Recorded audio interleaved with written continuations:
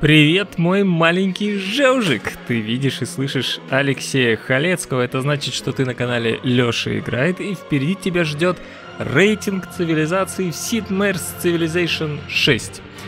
Пояснение. В каждой серии три цивилизации. Мы разбираем особенность цивилизации, особенность лидера, уникальный юнит и уникальные улучшения, районы, здания, в зависимости от того, что там у них есть. Цивилизация получает одну из четырех оценок. Сильная – это значит, что во всех ситуациях за эту цивилизацию офигительно играть. Средняя где-то хорошо, где-то плохо. Слабая. Особенности этой цивилизации, к сожалению, не помогают выиграть. И, наконец, сломана. Это означает, что особенности этой цивилизации фигово сбалансированы с механиками игры. Не забудьте поставить лайк, подписаться, нажать на колокольчик и поехали.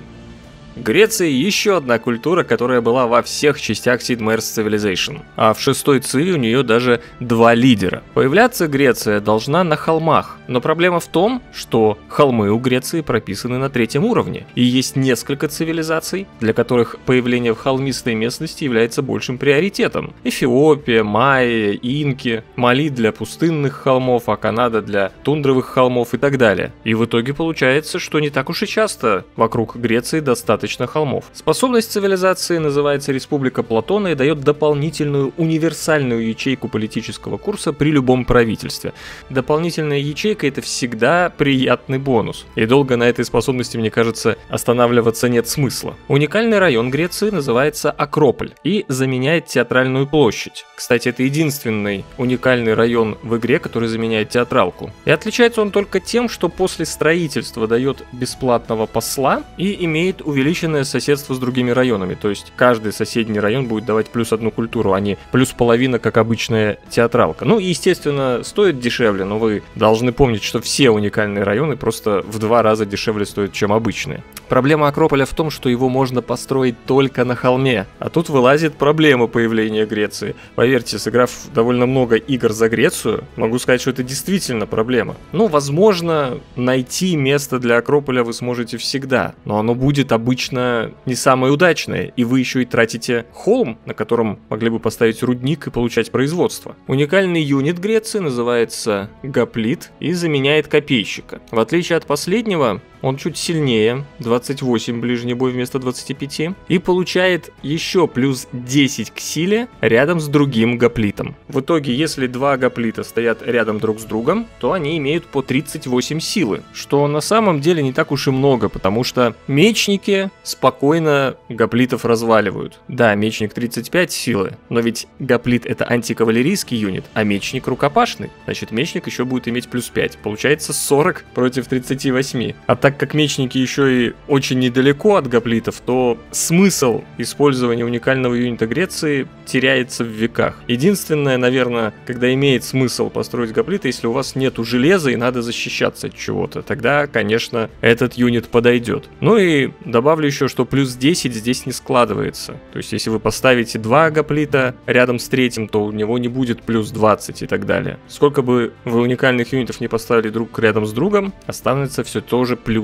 10. По-моему, это один из самых слабых уникальных юнитов в игре, но можете попытаться переубедить меня в комментариях. Способность первого лидера Греции Перикла называется «В окружении славы» и дает плюс 5% за каждый город-государство, сюзереном которого является игрок. Казалось бы, это неплохо связано с уникальным районом, который дает послов. Строим Акрополи, получаем послов, сюзереним города-государства, и у нас куча культуры. Проблема здесь в том, что в шестой циве культура ради культуры не дает ничего. Открытие социальных институтов, конечно, классная штука, но вся мощь сосредоточена все равно в науке. Можно, например, вспомнить Византию, где вы за счет культуры быстрее открываете свои тагмы, уникальный юнит, очень сильный. Там вложения в культуру оправданы.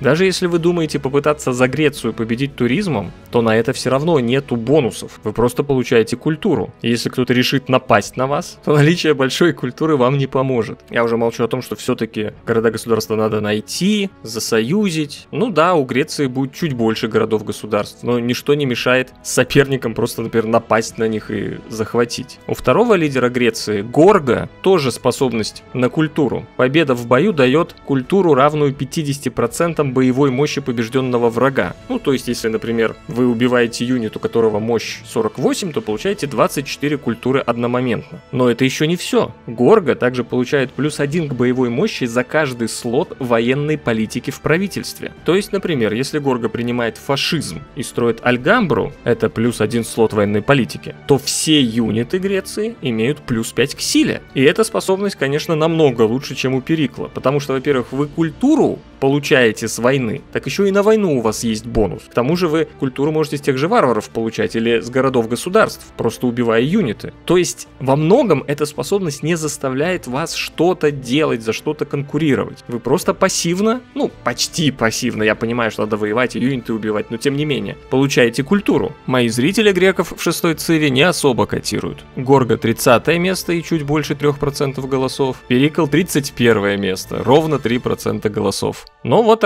Арсению Шамову Перикл очень нравится. Универсальная карта политики говорит сама за себя. Сюзеренить города-государства довольно просто, если выбрать правильные карты. И культуры у нас будет сверх много. Акрополь нам в помощь зарабатывать великих людей. Если грамотно их ставить, то великих людей будет очень много. Ну и гоплиты помогают от ранних нападок конницы. Как я и сказал, я с Арсением не соглашусь.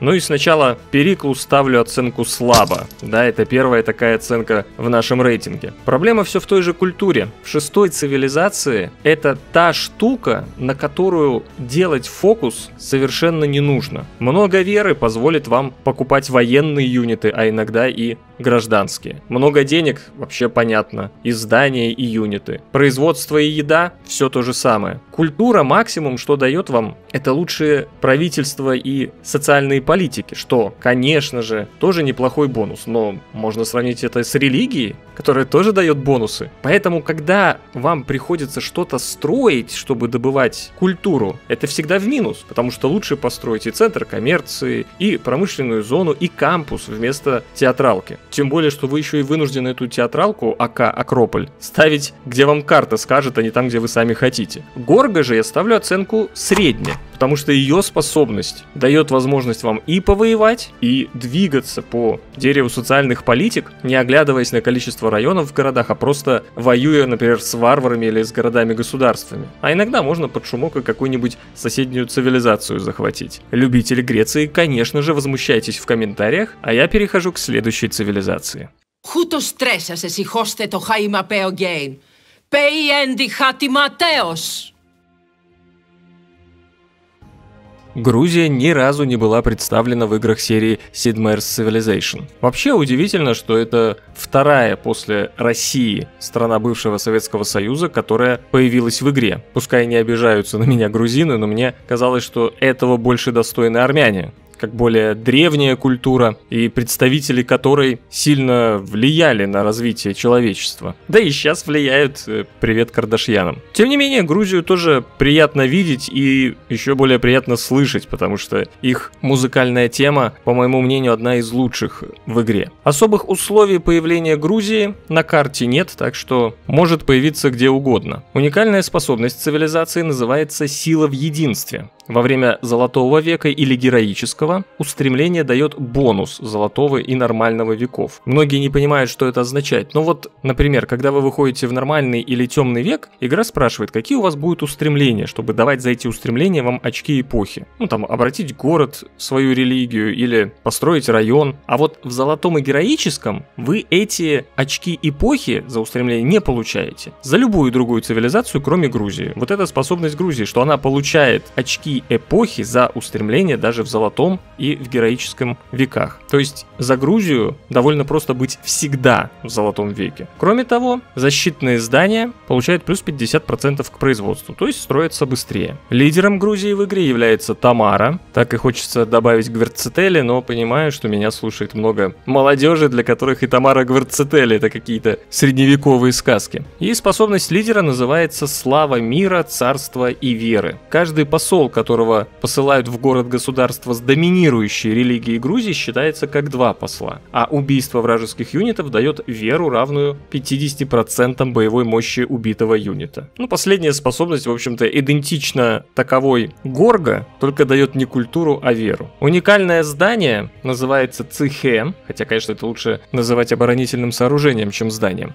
и заменяет стены Возрождения. В отличие от последних, дает в два раза больше защиты, 200 вместо 100, 4 веры в ход и плюс 100% к религиозному туризму, когда Грузия в золотом или героическом веке. Ну и, наконец, уникальный юнит Хевсуры заменяют латников. В отличие от последних, требуют в два раза меньше железа, имеют на 3 силы больше, 48 вместо 45, плюс 7 к боевой мощи на холмах и при этом игнорируют штраф передвижения по холмам. Как вы думаете, какое место заняла Грузия в зрительском голосовании? Она заняла первое место, да-да, только в голосовании на худшую цивилизацию в игре, причем с большим отрывом. 36,5% голосов. Второе место, для примера, набрало 18,5%. То есть больше трети принимавших участие в голосовании людей посчитали Грузию самой слабой цивилизацией в игре. Мне даже нечего вам зачитать, потому что большинство сообщений про Грузию просто констатируют, что она худшая. Что ж, давайте разбираться. Проблема этой цивилизации в том, что все ее бонусы абсолютно не связаны друг с другом. И, пожалуй, одним универсальным можно назвать э, силу в единстве, когда устремления дают бонусы золотого и нормального века даже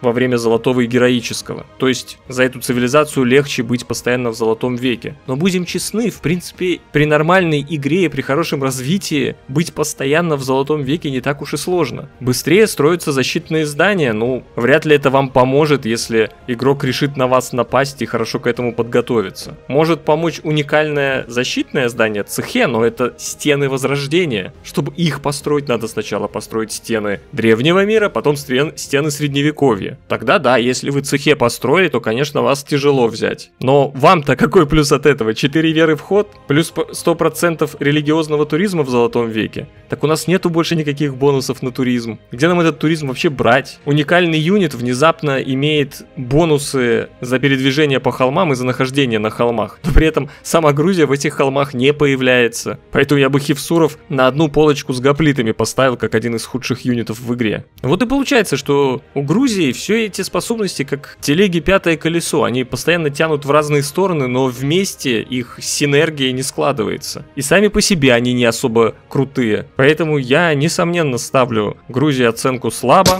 Кстати, мне еще вспомнилось, что э, Грузию усиливали даже в каких-то патчах. До патча она еще слабее была. В общем, это тот случай, когда я полностью согласен с моими зрителями. И иду дальше.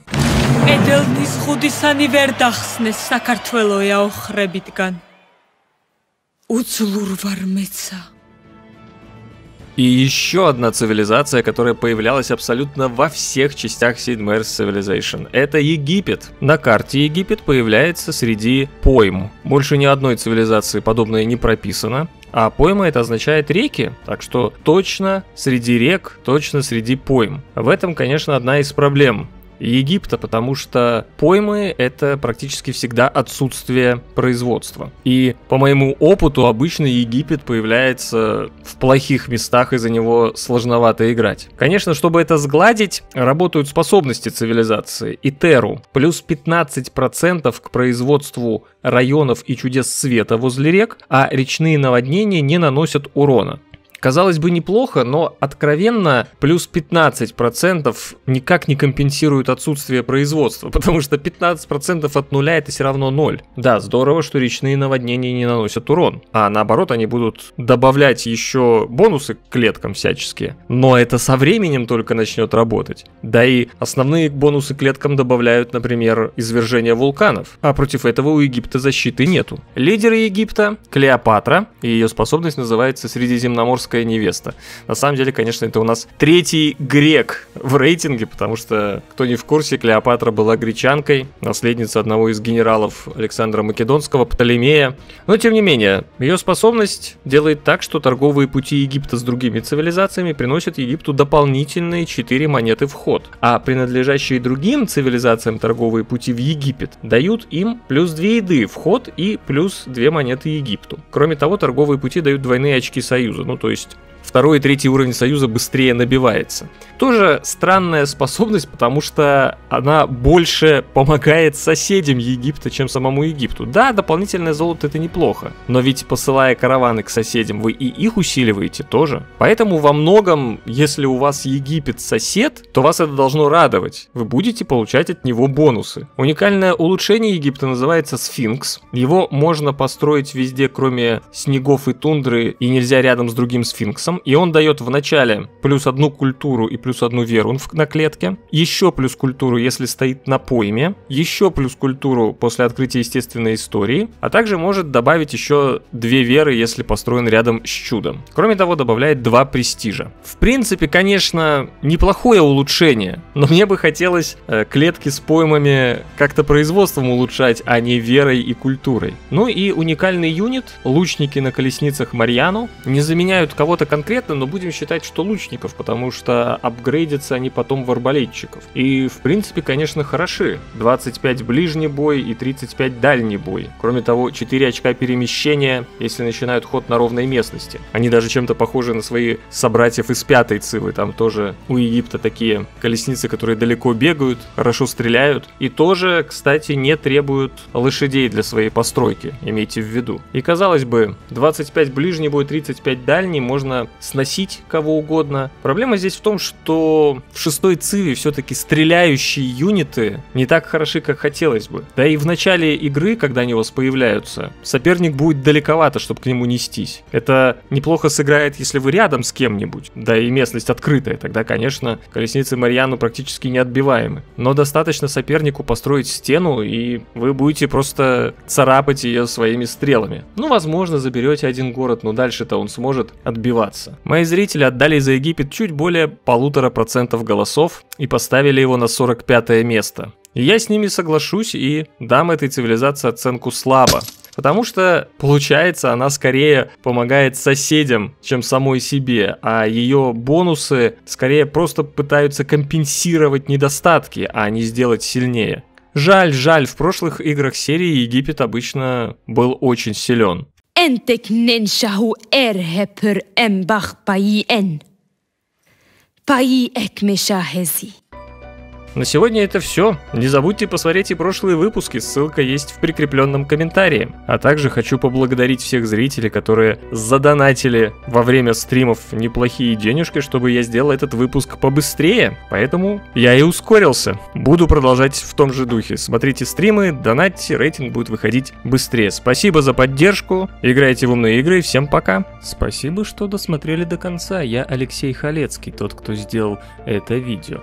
Пользуясь случаем, хочу попросить вас поставить лайк, оставить комментарий и поделиться этим видео со своими друзьями или в социальных сетях, а также посмотреть другие мои видео, ссылки на которые вы видите сейчас на своем экране. Играйте в умные игры и всем пока!